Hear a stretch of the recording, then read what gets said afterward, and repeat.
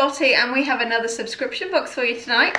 How exciting. This one is a really cool one and it's for all you bakers out there. So this is from the Baking Club and basically inside is everything that you'd need to make a recipe. So how exciting is that? We're gonna give it a go and see how we get on because I do love a spot of bacon. I'm not saying I'm any good at it, but I enjoy doing it, so let's go. Okay. Oh, I see chocolate. Oh, wow. Wait. Oh, my goodness. This is like a proper baking kit. Okay, so we are making chocolate marble cake. How exciting is that? It is prep time of 30 minutes, bake time of 20 to 30 minutes, and it serves 12. And inside are really nice detailed pictures of what things should look like and what we need to do. So, Inside the kit, it tells you what's inside. We have quite a lot of stuff. I'm so excited. And then it says what we will need. Okay, so I won't be making it just yet, which is a bit disappointing, but never mind. So inside, I need to go to the shop and buy 380 grams of unsalted butter. I have eggs, but I need four medium eggs. I need one orange, I've got milk, and I've got two uh, circle tins.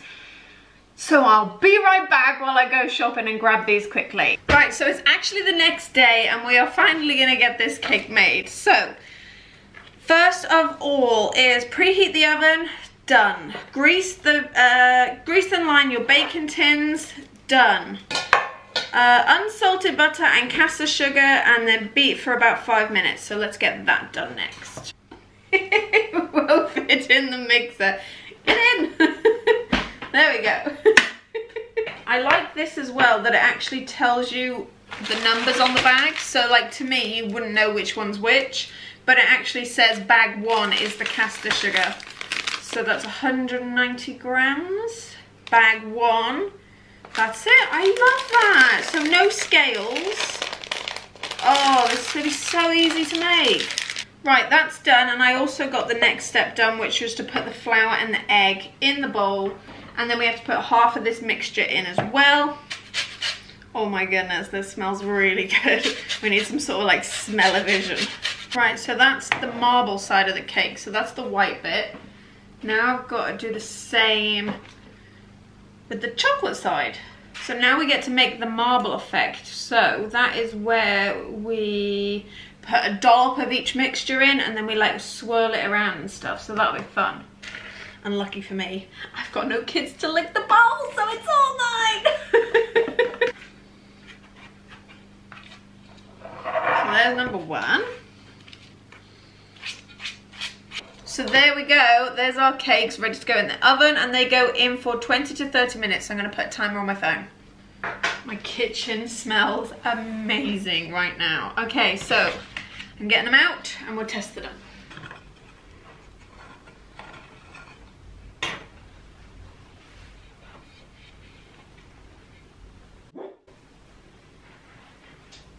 The tops are a bit more marbled than the bottom, but never mind, they're gonna go the other way around anyway. Now I'm making the syrup, which is just the leftover orange juice and the caster sugar packet.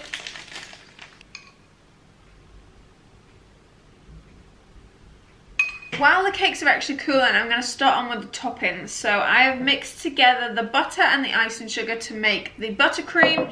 In one, I've added a teaspoon, sorry, a teaspoon of the orange juice. And then in the second one, I think we're putting chocolate in it. So I've got our dark chocolate and I've got to melt it. Yeah, and then add it to this bowl to make chocolate buttercream. Oh my goodness. Boy, the kids are going to be happy with this dessert tonight. The two icings are ready and I'm just waiting for the cake to be a little bit cooler and then I'll start piping. Another great thing that they've actually put in the box is this butter measurement.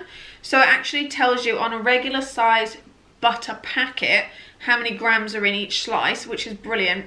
Also, it has a conversion chart. So when they said um, tablespoons, I don't have a tablespoon I have dessert spoons and teaspoons, but it also tells you how many of each one that you need to use. So that's a brilliant thing to keep in your drawer, um, in your baking cupboard and things like that. So you can always refer back to it. So I'm definitely keeping that. for the buttercream, we're actually doing blobs, which is fun. Um, and we're doing it like as if it's a marble pan, so you can pretty much go however you like with it.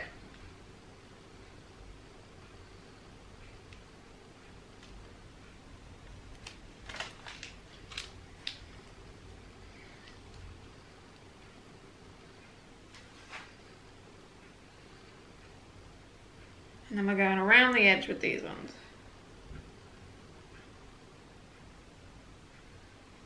So to finish off, we use our chocolate sprinkles to decorate over the top. How exciting. I love that they're marbled sprinkles too. So there we go, we have our marble chocolate orange cake. How exciting. I can't wait to show everybody when they come home a bit later. It was super easy to make. I'm not even gonna lie about it because it's quite daunting to think about making like a two-tiered cake.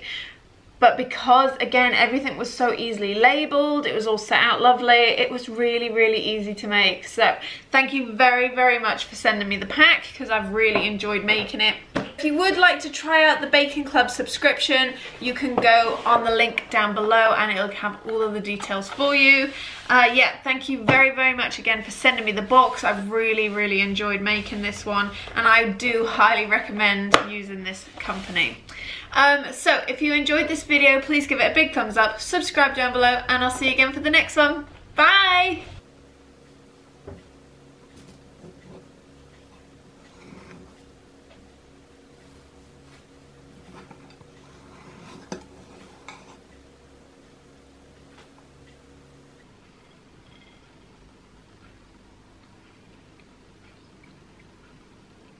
Wow. That is yummy cake.